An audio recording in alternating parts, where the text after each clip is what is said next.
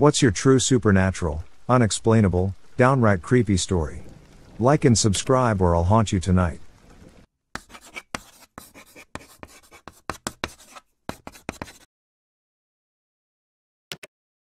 My family moved to this standard upscale suburban home after roughing it for a couple of years to save up. We also got a deal on the home because it was a model home before it was ours, like having all the fake furniture to show off the neighborhood homes. Anyway, it had this loft area with two stairwells that go up to it, one in the front and one in the back. You could pretty much hear everything from this loft since it was so open. One day, my two best friends, a guy and a girl, are hanging out in the loft. We were in high school, and they were horny and always all over each other, whether I was in the room or not. We were watching TV, and I got up to take a piss. When I left, they were all up on each other. When I came back, they were on different ends of the couch. I just knew they had gotten into a fight, so I asked what was up. Your little sister is home, the dude says. My face turned sheet white. What's wrong? The girl asked. I asked them what made them think that. They said they heard her. I am sort of freaking out at this point. No one's here, I say. We check the house, and I'm right. Well, it turns out that before it was a model home, a family lived there, and a little girl had been playing in the loft but had climbed on the railing and fell to her death below. My two best friends swear, to this day, that they heard what they thought was my sister laugh and run up the stairs, hitting her hands on each step like she was running up on all fours. I never had any encounters, other than the fact that right next to where she landed was the house central intercom. We had an intercom system in every room that you could play music through or talk to each other. Every so often at night, at the same time, you'd wake up to the intercom button being pressed and just the blank sound of static airways, like someone was holding down the button but no one was speaking. My room was on the third floor, and I'd have to walk down to the bottom of the main unit and turn it off there. I always thought I'd see her. When I was a baby, we lived in a big old manor house with my grandparents. One day, my dad woke up in the middle of the night to see what looked like a ghost of my mom on top of the bed screaming and trying to get into my mom's sleeping body. This freaked him out so much that he refused to ever go back to the house, and we moved out. When I was about six, we had moved out and had our own apartment. One morning, just after we woke up, my mom went to make a warm cup of milk for both of us. It was winter, and the lights were off in the room but on in the corridor. I can remember vividly seeing the dust come together, and a ghost in the form of my mom, dressed like she was from the 1800s, came together and walked out of the room, following after my mom and not acknowledging me in any way. It was the most surreal thing that I've ever seen, and I still vividly remember it. I was invited to a sleepover at my friend's house when I was 9 or 10.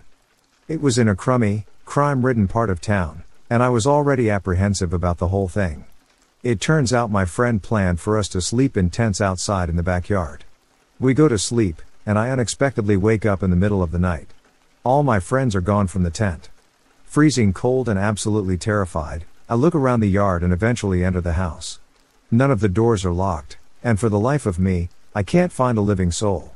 I'm practically all alone, scared the hell out in my pajamas. I find a phone and call my mom. About 15 minutes later, she picks me up and takes me home.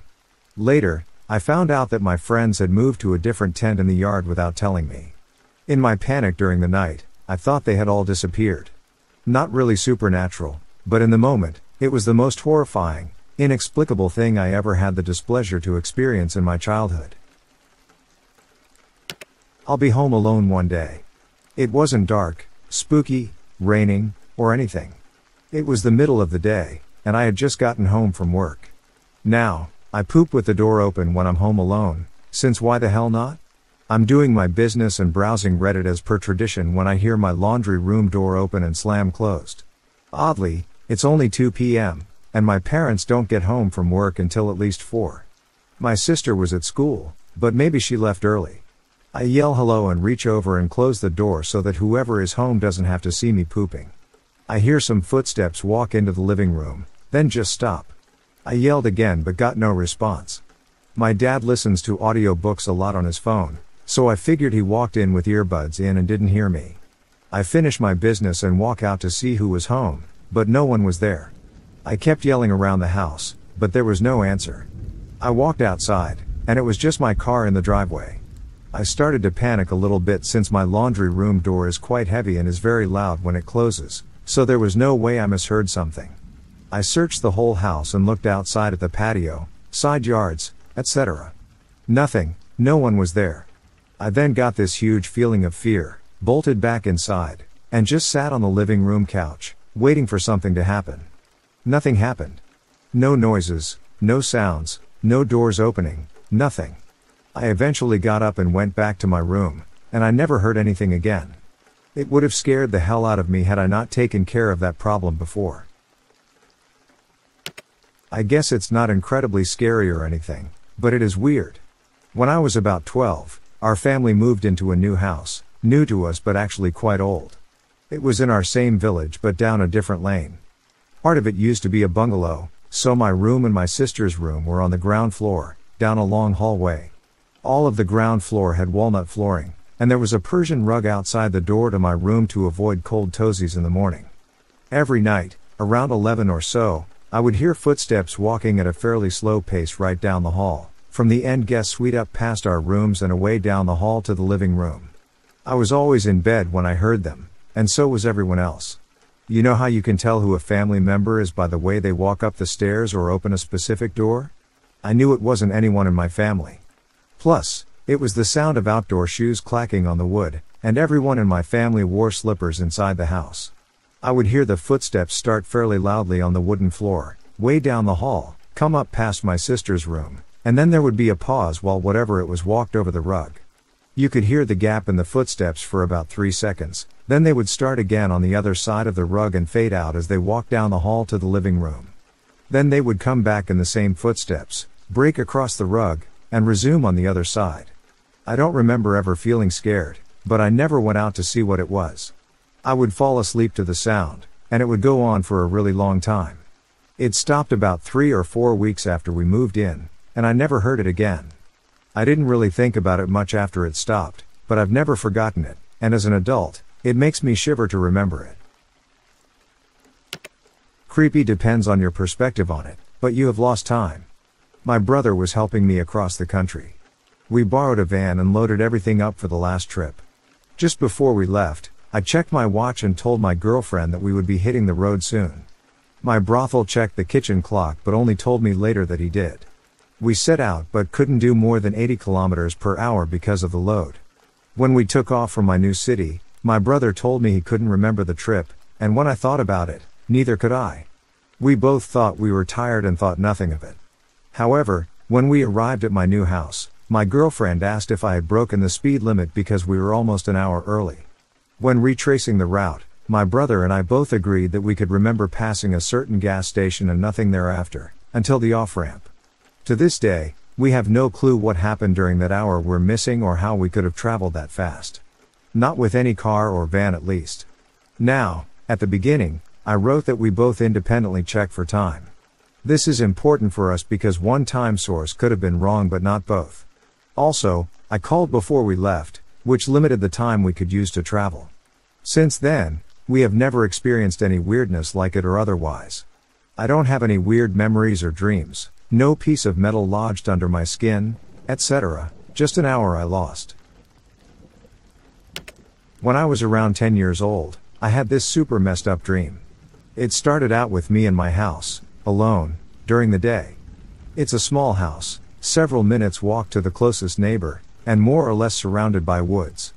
I heard something coming down the driveway, like tires crunching in the gravel, but much slower.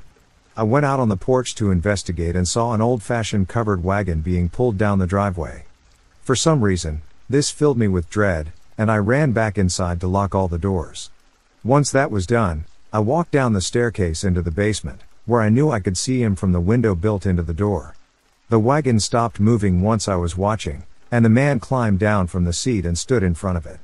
He was dressed in a black suit with a black top hat, and he was looking right at me through the window glass. Once he was sure that I saw him, he walked to the back of the wagon and pulled off the cover. There were people hanging from the supports at the top of the wagon, feet dangling, rope around their necks. They looked dead, but the man in the top hat did something, and their heads started inflating. It got to the point where it looked almost cartoonish, eyes bulging out, red faces, The works. He kept looking at me while he did it, and I just knew he was going to do the same thing to me. I woke up absolutely terrified, and to make things a thousand times worse, the power was out, meaning it took me a ridiculous amount of time to make my way into my parents' room and camp out on their floor. Here's the creepy bit. I never told anyone about this particular dream because it was so freaking weird. Maybe two years ago, my family and I got into a conversation about the freakiest dreams we'd had. I figure, what the hell? It's been 10 years, and I can probably bring it up without hyperventilating. So I start telling the story, leaving out a lot of details for brevity's sake, and when I get to the part about the wagon coming down the driveway, my younger sister gets the weirdest look on her face and says, Was the man wearing a top hat? We quizzed each other, and we remembered most of the details in the same way. I can't quite figure out how we both had the same dream, though I think a likely explanation might be that one of us told the other about the dream and then forgot. And the other party just constructed their own memory of it. But I distinctly remember not telling anyone about it because I thought it was too weird to share. I still get freaked out when I think about it, and to date, that's probably the strangest dream I've had. I don't think it's supernatural, but it was creepy. My mother died suddenly three years ago, Eight days before the birth of my son. There's a picture on the wall of my house of her, and he knows it's grandma. My dad is still in that house, but we have never visited, partly because I have a mental hang up about going back there and partly because of the logistics, it's an overnight ferry. Dad visits us often, and I will go back there soon. Anyway, my son has never seen the house, and I've never shown him photos of it. He hasn't been to the village, the area, or even the country, France. I was showing him Google Maps last week and the thing you do with your phone or tablet where, if you move the device, the field of view moves with you. So I'm showing him our house, his other grandmother's house, his school, etc., and he gets it and has a play. My dad lives in rural France, so the Google car hasn't done a pass of his street to my knowledge. I decide to check, and it's just been done, so I drop the pin and open it up. The view opens with the house over the street, so I start to move it and my boy shouts, Grandma's house. A bit taken aback, I ask, How did you know that? Because it was. It's a bit eerie, so I ask him to point at the window and say which one is the kitchen, and he puts his finger on it straight away. Which room does daddy sleep in? Which one is grandma's? He points to it and says, It was that one. Loads of rational explanations, etc., but it creeped me out. My aunt's house is haunted. She moved there when my cousin was about two. She knew it was haunted instantly, but she stayed because the ghosts were not malicious. My cousin, now about 30, grew up there knowing it was haunted, as well as my two younger cousins. They talked about it so nonchalantly, like it was just part of their daily routine. I'm way into spooky stuff, so hearing this time and again at family functions, I asked to spend the night specifically listening to the ghosts. I was about 17 at the time. Here is exactly what happened that night that was strange. My cousin, my aunt, and my aunt's friend are watching Carrie. It's winter time, and all week their fireplace has not worked. My cousin says out loud, When is this movie going to get scary? Just then, the glass patio door in the kitchen opens. After the movie, we went to the hot tub because we were cold. After a while in there, we come back inside, and the fireplace is blasting full heat out of it. My aunt laughs it off as the ghosts mess with us, they play pranks like this a lot apparently. After everyone is asleep, I am on the couch, and my cousin is on the floor next to me. I hear footsteps from the basement coming up the stairs. The basement door is visible from where I am lying. I hear the steps come all the way up the stairs and stop on the top. I am terrified and expect someone to come out the door, but nothing. A moment passes, and the steps go back down. This starts to repeat, up and down the stairs. I wake up my cousin terrified. I say, listen, listen. It's crystal clear, a person is walking up and down the stairs right there. He looks at me and is like, dude, that happens every night, go back to sleep. It went on for about 30 minutes, up and down the stairs. I was mortified. I have more stories from my aunt, but that was one of the experiences I had. On other occasions, I have also seen lights turn on and off and heard more footsteps. She thinks it's children. They live across the street from a school that also had people report strange activities. When I was in high school, my uncle would throw me a couple bucks to help babysit his kids with my aunt. They lived in a two story house by the water in a nice area. The kids were about three and six, respectively. One day, I was sitting in their den on my phone when I started to hear a baby crying. Thinking it was the three year old, I headed to the bottom of the stairs to check and see if my aunt was up there dealing with it. I called for her a couple times with no response. The baby kept crying. I called for her one more time, and when I got no response, I started walking up the stairs. Then I heard my cousins and aunts playing outside. All the hairs on my body stood up, and I literally felt a chill run down my spine. I quietly turned around, walked down the stairs, got in my car, and drove away. The baby was still crying when I closed the door behind me. A few years later, I was drunk at a family party and told my uncle the story. He told me that he and his wife used to hear the baby too, and apparently the previous owners had a kid die of SIDS in that room upstairs. He's uber Catholic and had a mass said for the baby. He said that after that, it never happened again. It still gives me the willies when I talk about it though. Last year, I was staying in a hotel with my mom. One of the nights, as I was lying in bed, I noticed a human silhouette maybe two meters away from me. I figured it was just a shadow, so I tried to ignore it, but I couldn't. I turned the light on, and obviously it disappeared, but when I shut off the lights again, it came back. I tried to convince myself that it was just a shadow, but trust me when I say there was nothing in that room that could have made a shadow like that. I looked around the room several times. It also occurred to me that the shadows weren't there the previous nights, and nothing had been moved around. It looked just like a human silhouette. I never believed in ghosts, but right then and there, I was terrified. I was too scared to look at it, so I turned around and eventually fell asleep. I told my mom about it the next morning, and she just shrugged it off. She said I was just imagining things, fair enough. That shadow wasn't there the next night, or the next. A few days after we had gotten back home, my mom was doing something in the kitchen, and I was just sitting there studying. Without turning around, my mom said, Do you remember that shadow of a person you saw at the hotel? I said, Yeah. My mom just said, I saw it too. My blood turned to ice. Mom didn't want to admit that she also saw it. I thought that she was sleeping, because she didn't want to freak me out. I'm convinced that if ghosts exist, I saw one that night. My mom thinks it was the ghost of her best friend, who had committed suicide just a few days prior. Mom had spent hours earlier that evening writing her a long letter for some kind of closure. Maybe her best friend also wanted to say goodbye. I am an outdoorsman, I'm very experienced in hunting, camping, hiking, and general survival. I'm very familiar with and used to wildlife, and I was charged by what I believe was a cryptid called a dogman. It charged me and my cousin. It was not a bear, a bear cannot move how it does, and it was not a normal wolf as they can't comfortably run on two legs, whereas what charged us seemed natural at doing. I can elaborate further if you wish. This happened around June or July of 2007, I believe. I was around 17 years old and more cocky then, but still somewhat knowledgeable of the outdoors. My family used to own a cabin in northwest Wisconsin.